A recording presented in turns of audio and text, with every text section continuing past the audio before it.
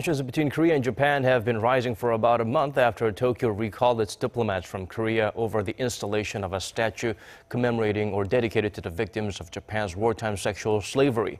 But after a series of provocative remarks from Japan, the tension could continue. Lee Ji-won has a full story.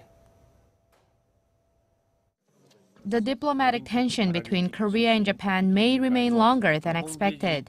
After meeting with its foreign minister Fumio Kishida on Thursday, Japanese Prime Minister Shinzo Abe said Tokyo will hold off on sending both its ambassador to Korea and its Busan consul general back to Korea for the time being. According to Japanese media on Friday, Abe and Kishida agreed that they do not have to make the next move unless Korea shows a change in its stance.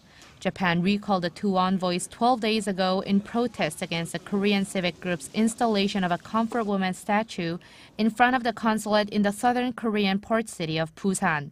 Amid the ongoing tension, the Japanese government is taking another issue with the website for the Pyeongchang Winter Olympics. It claims that the official website's references to Korea's easternmost Dokdo Island which features a group of islets among a number of tourist spots and a map of Korea with Dokdo on it, violates the Olympic Charter, which bans political declarations.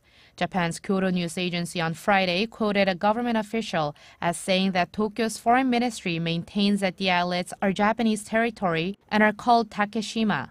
Japan has made repeated claims to Dokdo since the end of its colonial rule of Korea in 1945, and its latest claim is being seen as a way to make it seem as if the islets are part of a territorial dispute. Experts say the growing tension may further stall the thorough execution of the Seoul-Tokyo Landmark Agreement on the Comfort Woman issue, which was signed in December of 2015.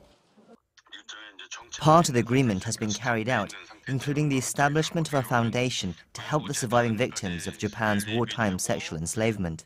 And although there was no specific clause regarding the removal of statues commemorating victims in the agreement, Korea worked to solve the issue in an appropriate manner. But as Japan is not getting a result at once, there has been no further proceedings. The expert added the Korean government must take a firm stance regarding the issue of the statue in Busan. But he also suggested the government needs to put more efforts into seeking the public support for the landmark agreement on the comfort woman issue. 이지원, 아리랑 뉴스.